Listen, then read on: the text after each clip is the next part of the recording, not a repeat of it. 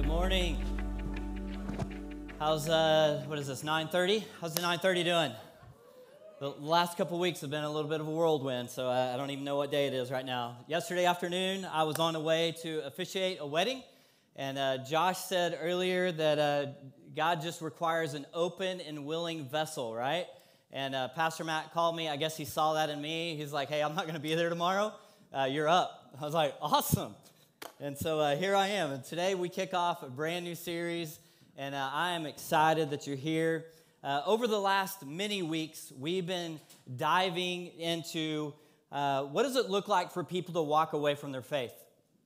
We've been talking about things of hypocrisy, of believing one thing, saying one thing, yet acting another way. We talked about offense. What does it look like for us to be offended and, and essentially begin to question and walk away from our faith? Doubt. These are natural things in life. We talked about relationships and suffering and legalism. It was a powerful series. In fact, I encourage you, if you weren't here over the last uh, five or six weeks, to go back and listen to these messages. Last week, uh, Blaine Bartell was here and spoke an incredible word about deconstructing our faith. See, here's the reality is deconstruction is pretty easy to do. In fact, yesterday in my neighborhood, I was driving around and I came upon this house that was literally being deconstructed. And when you see something like that, it's hard not to look away. You're just fascinated. We're like, holy cow, they were smashing that house, like completely to the foundation. And they begin to, to they had that big claw thing, and they, I don't even know what it's called. I'm not a construction guy. And they begin to pick it up and put it in a dump truck. And I just sat there and looked at it. I was like, man, something that once was is no longer. I have three sons, and they love to deconstruct things around our home. It's like our entire house is a deconstruction zone. Like that table the purpose of that table is to be torn apart. I'm like, no, that's not it. But here's the reality is we kind of go through these three phases that I've noticed and kind of begin to realize over the last several years is this first phase is what I would call is orientation. As we first come to know about the gospel message and we're oriented to it and we begin to believe and begin to take steps towards Christ in our faith and walk and grow. Sometimes we do that in community or, coming to church on a Sunday morning, and then something happens in our life. And we begin to go through this phase of disorientation, of deconstruction. And we begin to question everything that you might once believed. It might have even caused us to walk away, and you may be right in the middle of that this morning.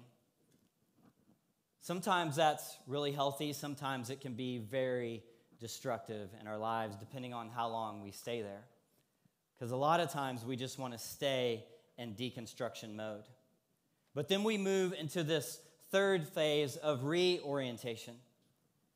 And sometimes we experience something that I call as a revelation of God's love, where you are uh, uh woken up to something that is completely new and transformative, and you're like, man, I, I never saw God this way in my life, and it is new. Maybe for the very first time. And you begin to dive deep into the scripture and deep into community and deep into the things of God. And your complete paradigm of who God is and what He has done for you is completely reshaped and refined. You see, it's a lot like these bricks here on deconstruction mode is we, we love the mess, we love the pile. But what it, what it does is we have to, eventually, we, we've got to bend down and go to work, and we have to begin to lay the foundation. Blaine talked about this last week is, is we have to be precise as we lay this foundation. Sometimes it, it takes measuring and planning, and we begin to build something new, something that is going to last in our lives. But we all love to hear these messages on hypocrisy because it's kind of sexy and, and it, it, honestly it inflates our ego a little bit right If we say, man, I'm not as bad as that person, so I must be a good Christian. And we begin to build ourselves up a little bit. Nobody wants to hear a message on the gospel. Why is that? Because it's basic. And we tend to say, you know what, I already know that. I, we've covered that. I don't need to hear that again.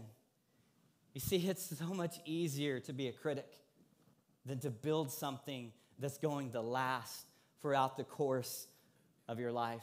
Here's what the gospel is it is the foundation of our lives, it is our purpose, it is why you're here this morning. It's why we're gathered here is we've laid out this vision to see our city transformed by the power of the gospel. That's why we gather in this place. That's why in, in, January, Pastor Matt rolled out our really our vision for the future. It, and it's massive. It, it's really even intimidating to communicate it to you this morning. Is to reach 100,000 people over the next decade. Does that mean 100,000 people walking through the doors of City Church? Absolutely not. It means uh, reaching 100,000 people through what we call microchurches.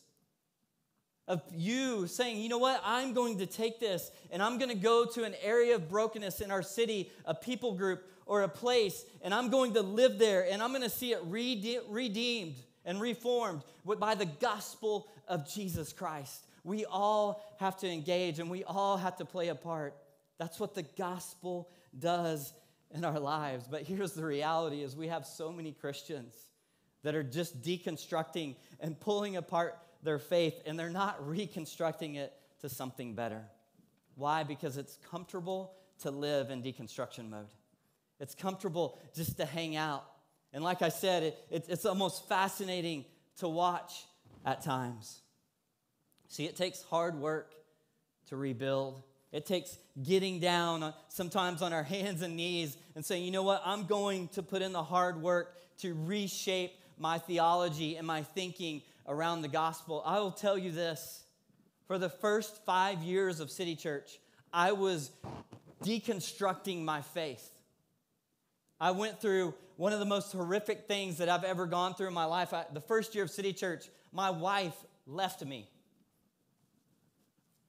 of 11 years rocked my world. You know, the only way that I made it through that is because I had a leader that was willing to offer me grace. I had a community that was willing to lean in into this pile of rubble and say, man, something beautiful could come of that. God wants to do something through that. See, I was disoriented, and I began to reorient myself into the message and surround myself with community. You see, in a chaotic, disoriented time, you must return to what is foundational. And over the next five weeks, we're going to lean in to what does it look like to reconstruct our faith centered around these five things as the gospel, as identity, community, mission, and what does it mean to be spirit empowered? The gospel is this is being liberated by understanding the good news of what God has done for you in and through Jesus. Identity, becoming whole and healthy as you flourish in a secure, God given identity. Here's what I've discovered more than, than any other time in my life over the last three years of we've taken over 100, 100 people through our city leadership academy Identity is one of the greatest things that I see people struggling, struggling with. Not having their identity deeply rooted in the things of God, and, and it's deeply rooted in the things of, of this world, honestly. Their, your, the, our eyes are on other things and not centered on the gospel message and the things of God. It's community belong to and participate in radically loving, formative relationships. That alone has completely transformed my life. Mission, find purpose and vision in joining God's restorative work in the world. And number five is spirit empowered, is learning to rely and experience the power of God's spirit within you. when you accept that gospel message, when you welcome Christ to be in your life, to be your Lord and Savior, the Holy Spirit comes in and begins to reside in your body, and you are spirit empowered to go and walk and live this out. Over the past month or so, our staff has been reading this book by Jon Tyson and Susie Silk called Kingdom Values. In fact, we, we wrote this book uh, several months ago, and uh, our kingdom foundations are exactly what Susie and John wrote about. This book is practical, it's theological, and it's powerful. And here's, here's what we've done we we bought uh, over a 100 of these books for you. And so if this is something that you want, today we actually have it for sale in the lot or in the outdoor lobby, not in the lot indoor lobby, the outdoor lobby for $10 today as a gift to you. And I encourage you to pick it up, to read it, have discussions around it. If you're married have discussions around that with your with your wife. If you're dating somebody have discussions around it with the person that you're dating. If you're in a community have discussions around this book in that community. I promise you it will be formative in your life. It'll be transformative. See the first priority of the kingdom of heaven is the announcement of the gospel the good news of salvation Paul in Romans 1, we find him giving his great theological discourse, and he says these words are so beautiful. He says, For I am not ashamed of the gospel, because it is the power of God that brings salvation to everyone who believes, first to the Jew, then to the Gentile. For in the gospel, the righteousness of God is revealed, a righteousness that is by faith from first to last, just as it is written, the righteousness, the righteous will live by faith. Paul is announcing that something has shifted, something radical has changed in his life, and he is bringing something new. You see, Paul is announcing what God had done in and through Jesus. His life had been completely transformed. And he's saying, How, how can we begin to live in this? We're talking about Christ, Christ's death and his victory over sin, his victory over Satan and hell. To those who are living in bondage and sin under the law, this was a message of hope and freedom. It brought life and restoration and redemption. And here's the beauty of the gospel is it is for everyone whether you like them or not. I was a student pastor for over 15 years. And I would continually look at my teenagers and I would tell them, I say, you don't have to like them, but you have to love them. Did you know that? You don't have to like your neighbors, but you have to love them. That's what we're called to. That's what Paul was saying is this gospel. Imagine this morning with me that you discovered a completely free cure for all types of cancer. Imagine that for a second. How little would you care what people said about you? You see, here's the joy of that is you would have the joy of seeing terminally ill patients being set free and healed from the really the greatest sickness that we've ever seen is cancer. Would you worry about criticism? Absolutely not. Because it would bring incredible joy and delight to your heart. You see, Paul remained energized and unconcerned about human opinion. Why was that? Because the gospel is too wonderful and compelling to disregard. What is the gospel? I'm glad you asked that this morning. It's a great question. It's a proclamation of good news. It's a proclamation of good news. Has you ever met somebody that was so excited and filled with good news that it's just like bursting out of them? My, my friend Andrew Sledge is down here. It's like, man, if the Sooners win, I know like Andrew's coming to find me. He's going to be telling me, he's like, dude, did you see that? I'm like, I actually didn't. I didn't watch the game. But he's going to tell me. Why is that? Because he's excited about that. It brings joy to his heart. It's the same thing if, if you begin to date someone you're like, man, I, I think I met the one. I think she's it.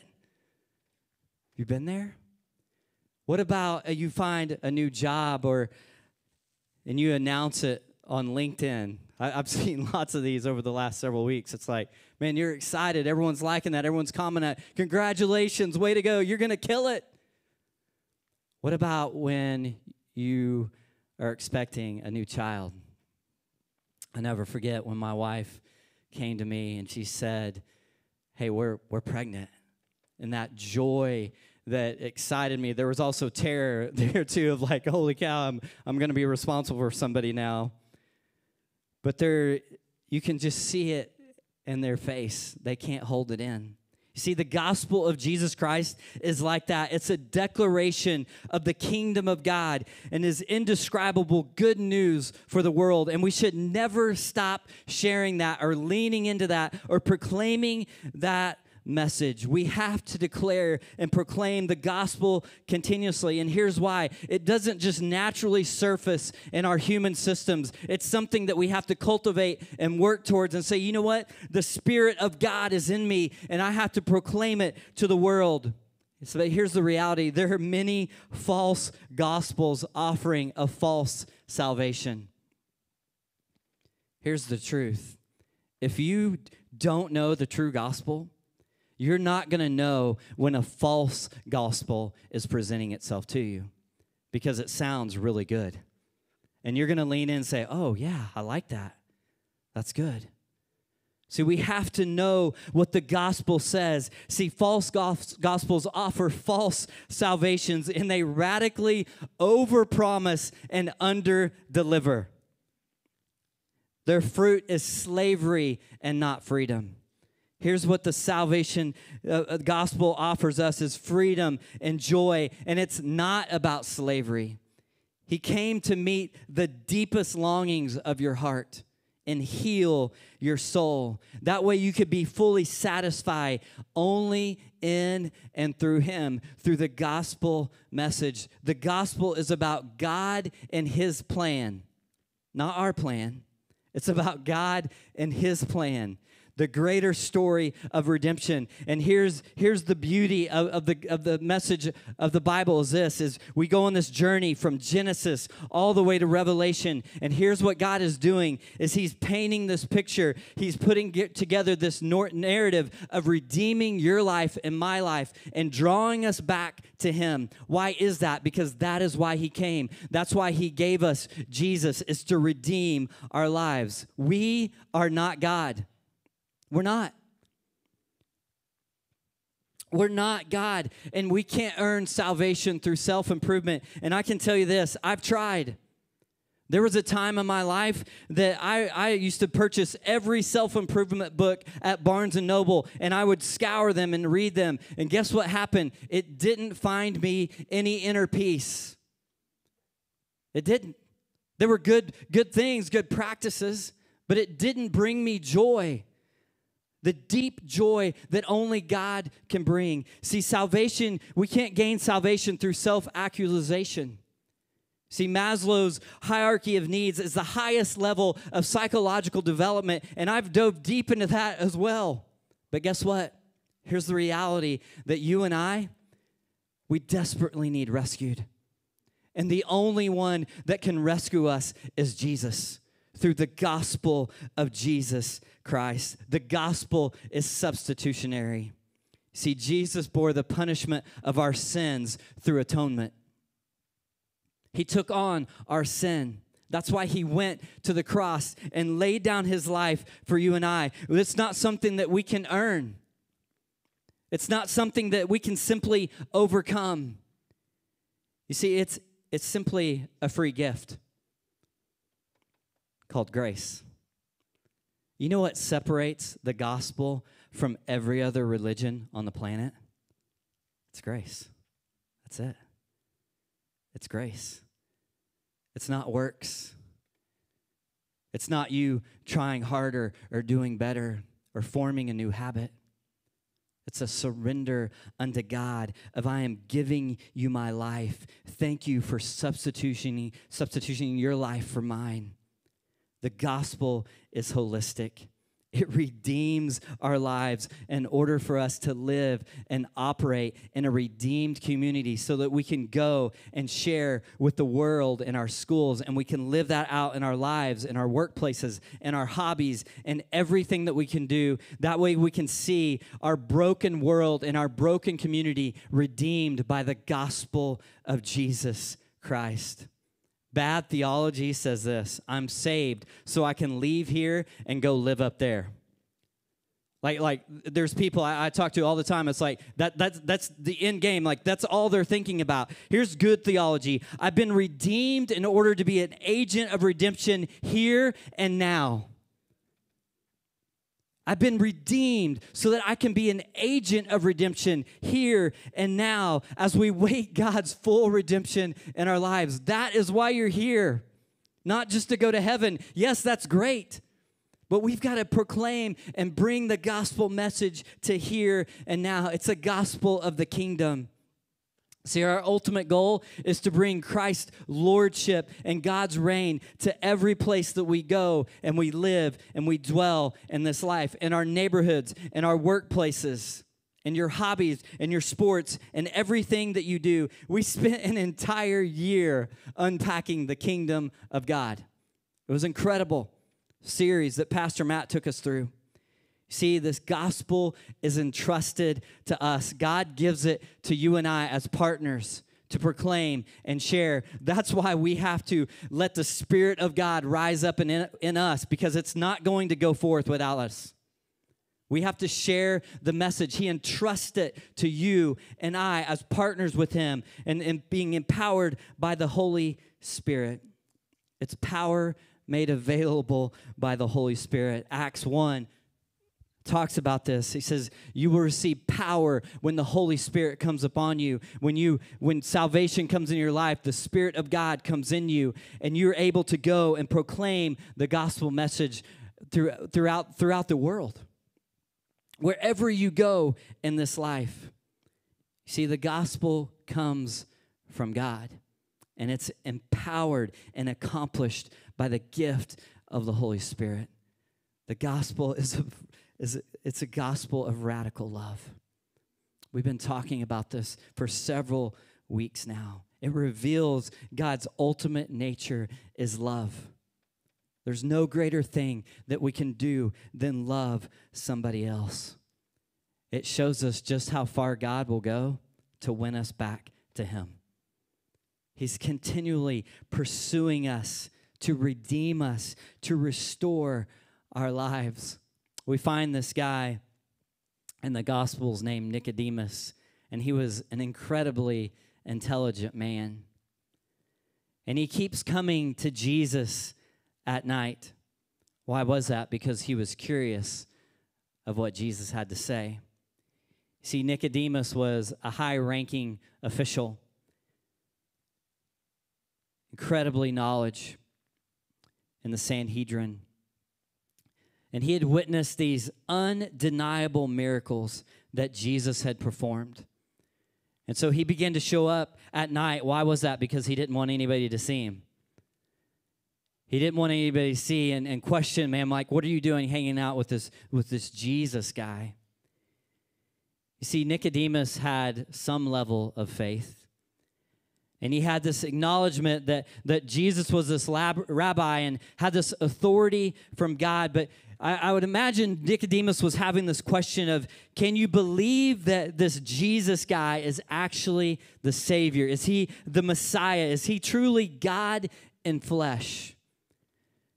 There's a difference between liking Jesus and agreeing with his message.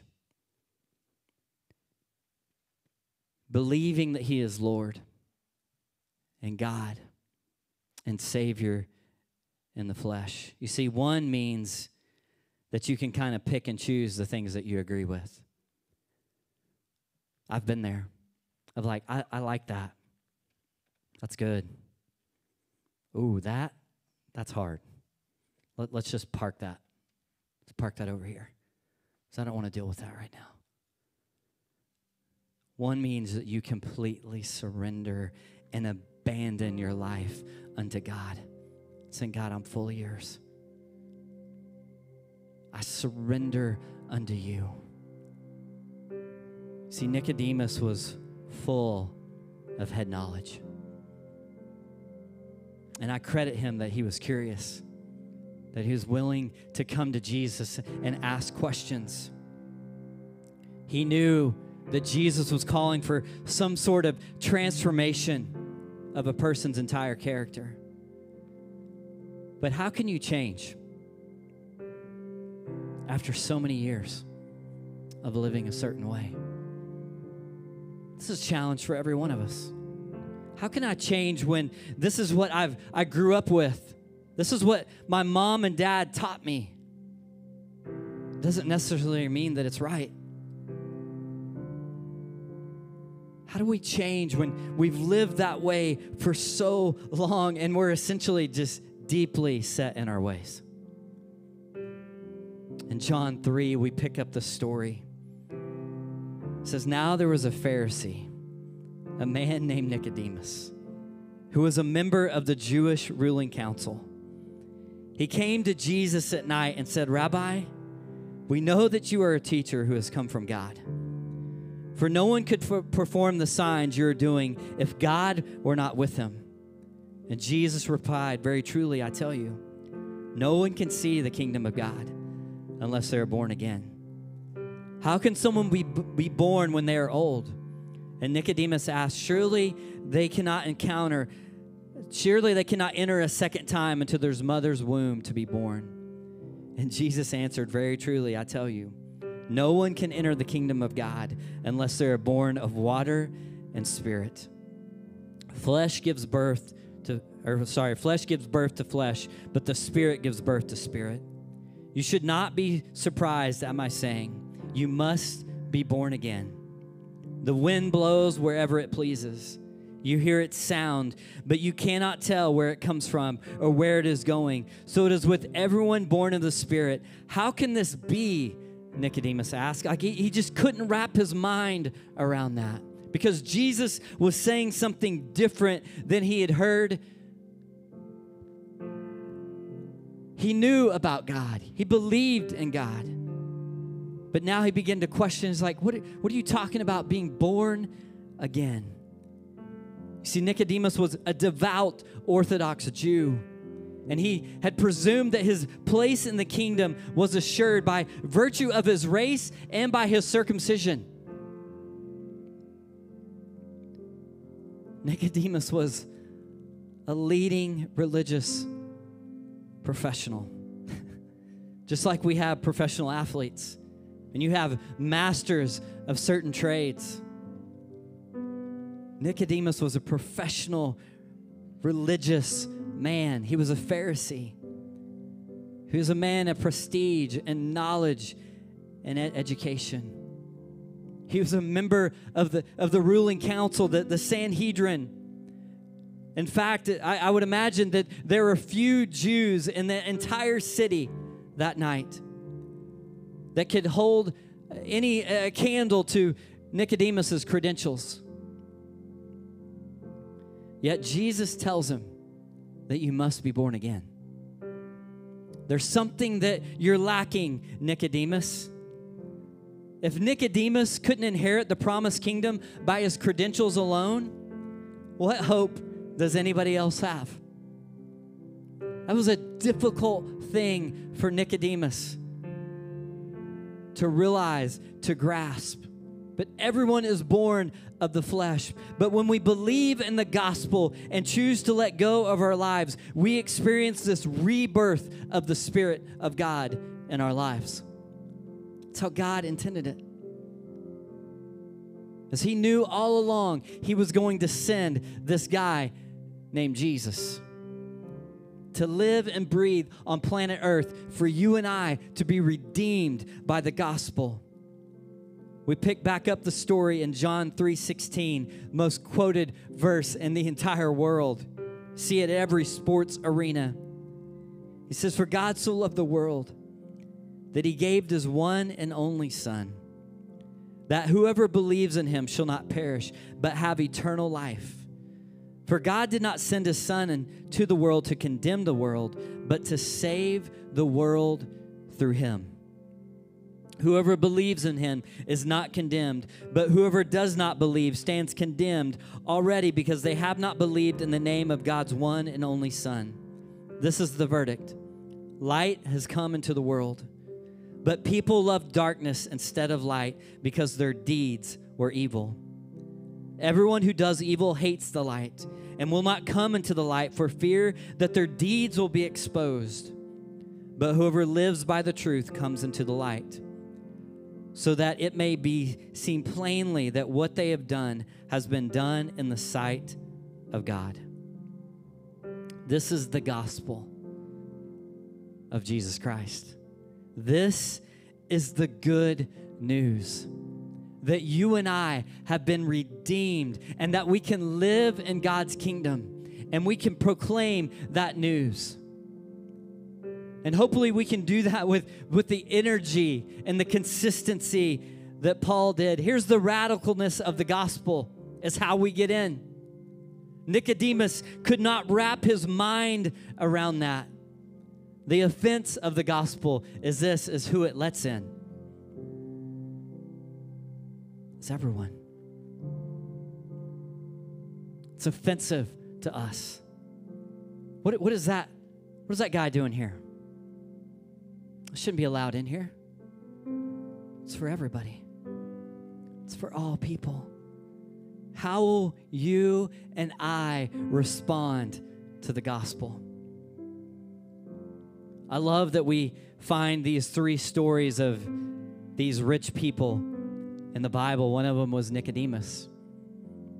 And we see that he was incredibly curious, he was in- incredibly knowledgeable. Yet I don't know if he ever believed. You have the rich young young ruler. He had everything. Everything that you could ever imagine. And Jesus looks at him and he says, uh, One last thing. I want you to go sell everything and then come follow me. It was too much for him. He's like, no, I can't do that. I can't give up my stuff.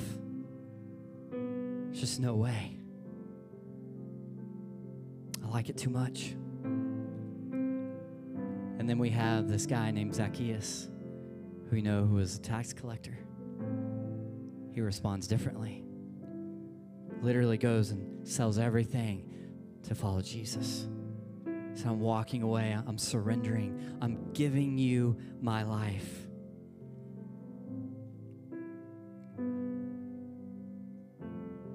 How will you respond? Will your faith in Jesus lead you to a complete surrender in Him? To say, nothing in this world matters. Nothing in this world matters but you a complete surrender? Will we believe in the gospel message? Will we lean into it and radically let it shape our lives? You see, we have to say, God, with all my heart, with all my soul, and with all my mind, I'm going to trust you. I'm not going to get caught up in the things of this world or these false gospels that proclaim what sound really good. And they're enticing. Is I'm going to look to you only. And I'm going to surrender my life to you. The beauty of the gospel is this is it gives us everything. But it also requires everything. It gives us everything, but it requires everything of you. Will you allow God to come in and completely transform your heart and your mind and soul and saying, God, I'm surrendering everything to you?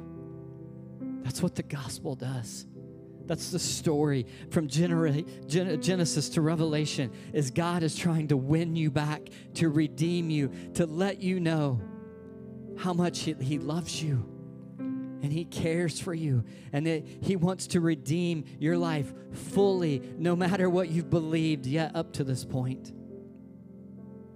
I want to encourage you to, to get this book. I promise you, it'll be transformative to you. Honestly, we, we were talking about this and because uh, we we'd written these kingdom this kingdom vision book and they, we literally laid out the five foundations before this book was even published.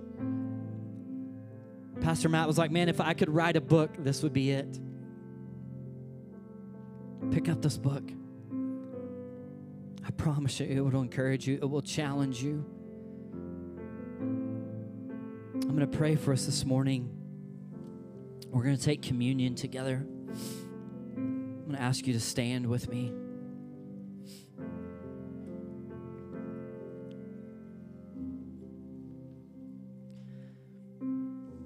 This morning, maybe you're here and you simply have just never taken Jesus to be the Lord and Savior of your life. I want to invite you to do that today as, as we take communion together. On the top of this cup, you'll find a really tasty wafer. They're not tasty at all, they're actually terrible. But thanks to COVID, this is how we're doing communion right now. What does that represent? It represents the body of Christ. That He came to redeem your life.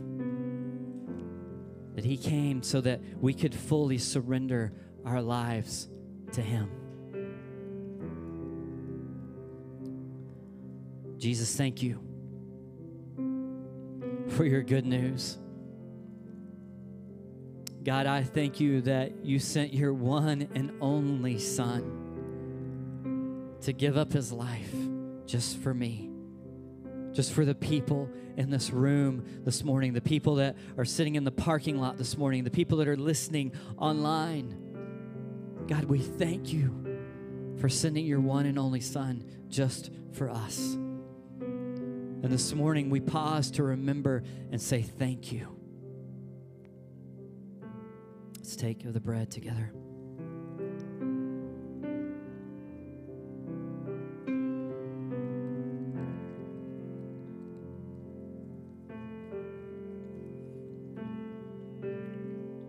Same way that he gave up his body, he shed his blood for us, for our redemption, for our salvation. The juice in the cup represents that. I'm so thankful for that this morning. Let's partake together.